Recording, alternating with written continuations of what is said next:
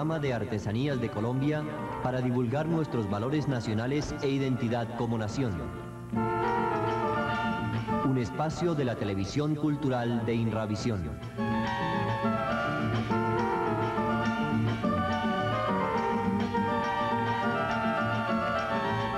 Buenas noches. Les recordamos a todos los artesanos que ya el 11 de septiembre se inicia Expo Confort y que por lo tanto quienes estén interesados en participar deben inscribirse ya en la división de promoción de artesanías de Colombia. Para ello es indispensable que traigan las muestras que van a vender durante el tiempo de la exposición. Otra cosa importante es recordarles que se están dando créditos a los artesanos en la división de créditos, repito, de artesanías de Colombia. Para ello deben dirigirse a doña Gloria Cecilia Duque, quien es la persona encargada de ellos. Estos créditos no tienen ningún problema para conseguirse, no necesitan tener fiador con finca raíz ni nada y realmente son muy útiles para el artesano. Los invitamos pues a que hagan uso del crédito de Artesanías de Colombia. Como les habíamos informado la semana pasada, hemos tenido la suerte de contar hoy nuevamente con Cristóbal Quigua, para que nos hable sobre la mochila Aruaca. Vamos pues a nuestra próxima sección para dialogar con Cristóbal.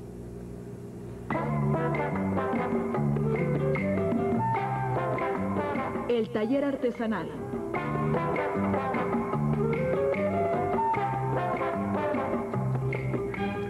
Bueno, Cristóbal, primero que todo quiero agradecerle el que nos acompañe. Ahora paso a que preguntarle ¿Cuál es la tradición que representa la mochila aruaca? Bueno, primero que todo, vamos a hacer una diferencia. No, primero que todo, cuénteme quién las hace, cómo las hace cuál es su tradición. Después hablamos de la diferencia. Esto lo hacen las, indígenas, o sea, las guati, eh, que son la esposa de uno. Eh, indígena o la mujer arhuaca se le dice guati. Bueno, esto es un trabajo de las guatis. Esto primero eh, se hace... ¿Y las hace únicamente para el esposo? Sí, esto se hace para, únicamente para el marido, que son tres, la, tercera, la, segunda y la primera. Entonces esto lo acompaña a uno pues todo el tiempo y cuando se acaba pues le hacen otra a uno. Y... esas se las entregan a ustedes el día que se casan o las van haciendo una vez que se casan, se las van haciendo a ustedes? No, eso sí, en cualquier tiempo puede hacerse. Esto no, no tiene problema. Sí. Y entonces, esta es la que le hizo María Elena, su esposa, a usted. Sí, esta me la hizo Lucelena a mí. Ah, Lucelena, perdón. Duró haciéndola dos meses. ¿Dos meses? Dos meses. ¿Y los, los tamaños de las tres son distintas o tienen el mismo tamaño las tres? No, eso sí no tiene problema. Pueden ser iguales una puede ser más grande que otra. Eso no, no, no hay medida. Bueno, ahora cuéntenos un poco sobre todo el proceso de la mochila roja. Ahora sí. Bueno, eso primero el motilado de la oveja, ¿no? Después el lavado. Y después viene el hilado en uso.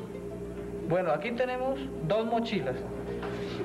Esta mochila y esta son del mismo material. La que tiene usted y la que tengo yo. sí, vamos a ver despacio. Dos mochilas. El material es el mismo. Ambas están en negro y blanco. Pero la diferencia es que esta, todo el mundo creería que es una mochila huaca y resulta que esta no es una mochila huaca, es una mochila tanquera. La legítima huaca venía siendo esta. ¿Y en qué se diferencia? O sea, a ver, ¿cuál es la diferencia en elaboración de la una y la otra? Bueno, primero que todo, el hilado, por ejemplo, de la mochila tanquera es un hilado burdo, es un hilado grueso, eh, es de una sola fibra. En cambio, el de esta es un hilado finito, todo parejo, y los pelitos, estos pelitos no se le nota mucho, a diferencia de este. Bueno, eso es primero que todo en el hilado. Segundo, tenemos otra diferencia en el tejido. El tejido de esto es un tejido ralo, o sea, usted la estira y se le notan los, los rotos. Aquí se le notan los, los, tejidos, los rotos de puntada a puntada. En cambio, en esta mochila, usted por más que la estire, ella no... no, no... Pongámoslas juntas para que la gente pueda apreciar más. Sí, por más que se estire, esta no se le ve roto. Y el tejido es un tejido más tupido, a diferencia de esta y ambas parecen que fueron arhuacas. Resulta que una es tanquera esta y otra es arhuaca. Ahora, ¿la tanquera siempre viene así en líneas blancas y negras? Sí, esa es otra característica. La tanquera solamente viene en este color blanco y negro. ¿Y en líneas? Sí, en líneas. En cambio, esta, la arhuaca, la legítima arhuaca, viene dibujada. Estos son los dibujos. Y todos sus dibujos tienen sus significados. Ahora, hay otra cuestión. Eh, claro que aquí también se ven mochilas así, pero entonces se diferencia el tejido que son más finos. Y, el hilado es también más fino. Esa es la diferencia. También puede haber blanco y negro en esta, puede ser así también. Pero entonces estas son más como con los rotos más, más grandes, ¿no? Y esta es más pequeño, más fina. Una mochila de, estas no durará por ahí tres, cuatro meses, en cambio esto dura cinco, seis años, diez años puede durar una mochila de esta. Sí, y este, eh, eh, eh, este diseño que tiene acá, ¿obedece alguna, qué quiere decir, por ejemplo, el que tiene usted? Bueno, estas mochilas así no están así por simple capricho o que el dibujo no tenga ninguna relación. Sí, este dibujo, por ejemplo, se llama en el dialecto huaco, este es el caballínguno, este dibujo, ese es el caballínguno, que significa camino de caballo. Y esta raya significa las bases de la montaña. O sea, quiere decir que están, se movilizan por zonas eh, en, en, caballo o en mula y en zona montañosa. Estas son las bases de la montaña. Estos son los caminos de herradura, o sea, el caballínguno, camino de caballo. Toda mochila tiene su significado. Ahora, la mochila huaca no solamente viene en blanco y negro, viene también en colores, los colores tradicionales, que son el rojo, el verde, pero entonces dibujada. Esto se llama dibujar, que es una cuestión que demora tiempo. Por ejemplo, esta mochila dura dos meses para hacerla, desde el hilado hasta el acabado. En cambio, una mochila de esta mm, durarán por ahí cuatro o cinco días en terminarla. Entonces, eh, la gente confunde muchas veces la mochila tanquera con la mochila huaca es, por ejemplo, que en Bogotá ustedes ven, en casi todos los almacenes ven, pregunta por mochila arhuaca y le sacan esto, que esto no es arhuaco, esto es atanquero. Entonces tienen que apreciar la diferencia los dos. No, entonces es importante que ustedes tomen nota de la diferencia del tejido, ¿no? Porque en realidad ya cuando se tiene de cerca se puede apreciar muy bien, inclusive en la televisión ya se ve, porque el tejido de la verdadera mochila arhuaca es realmente estupidísimo, ¿no? Y el otro sí, como dice nuestro amigo Cristóbal, es mucho más grande, se le ve pelitos, en cambio la otra es casi totalmente lisa la superficie y, los bordados están adicional a eso. Ahora, cuénteme una cosa, eh, estos, ¿qué capacidad de producción tienen los arhuacos de esta...? Bueno, esto es la producción de esto es relativo porque esto lo hace prácticamente el hombre para la mujer, sino que actualmente a la gente le gusta mucho y lo está persiguiendo mucho. Entonces, eh, haciendo una mochila de esta, por ejemplo, esta clase, duraron dos meses. O sea que una mujer en el año hará para el marido escasamente por ahí unas seis mochilas. Y esta, por ejemplo, esta, esta mochila es mitad lana, es una, eh, la mochila está hecha de un hilo de lana virgen de dos hebras. Una hebra de lana y otra de algodón. Con eso entonces una mochila esta viene durando por ahí unos 5 o 6 años. ¿Y esta es únicamente de lana? ¿Esta no tiene nada de algodón? No, esta sí es pura lana. Esta es pura lana, pero entonces es, sencillo. Aquí podemos ver, se puede ver la fibra, es sencilla.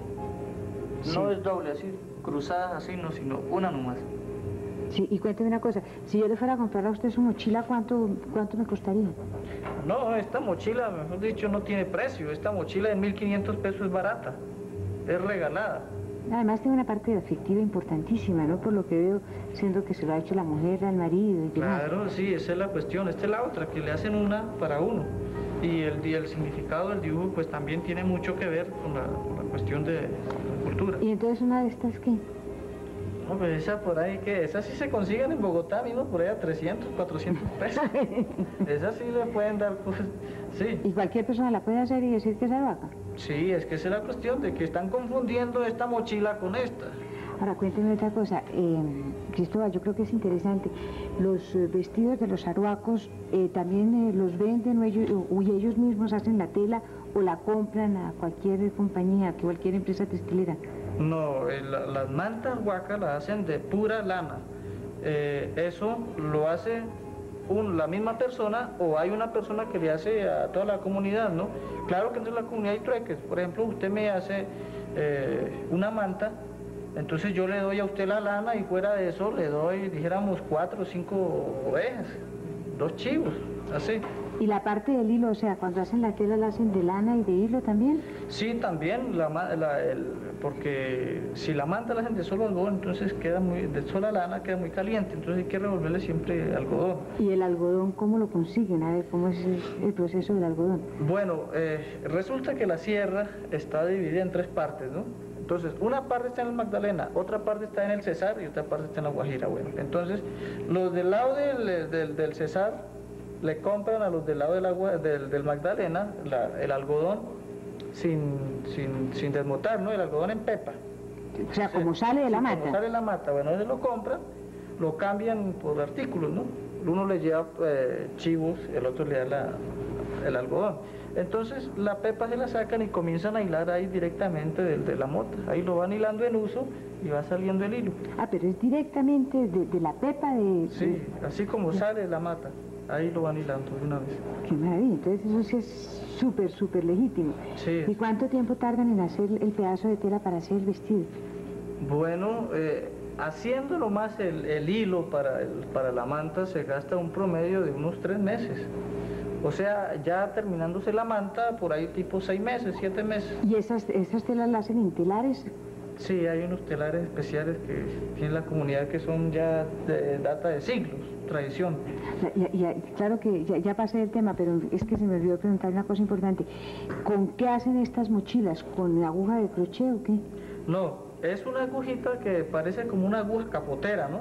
O sea, como una agujita de, de, remendar ropa eh, rota, ¿no? Pero más grandecita. Entonces eso va la puntada, puntada por puntada puntada por puntada y de ahí que dure tanto haciéndose una mochila.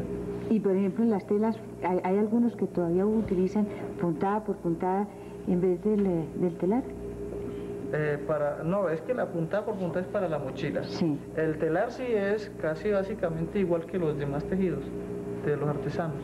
Bueno, pues yo creo que ya hoy Cristóbal se les ha explicado a ustedes muy bien cuál es la diferencia entre las dos mochilas, entre la aruaca y la la tanquera. Y la tanquera. De manera que cuando ustedes vayan a comprar mochilas, por favor, mírenlo. Y que sea esta la oportunidad para que aprendan a apreciar el trabajo del indígena colombiano, que realmente se supera a todo y que ha alcanzado un mercado que ya quisiera tener cualquier otro producto. Lamentablemente son pocos, no están estimulados, son cosas muy de ellos, de manera que le vamos a hacer. En todo caso, a ustedes agradecemos mucho el habernos acompañado el Cristóbal, el que se hubiera desplazado a Bogotá para participar en este programa y los invitamos para el próximo martes, a las 7.45 de la noche.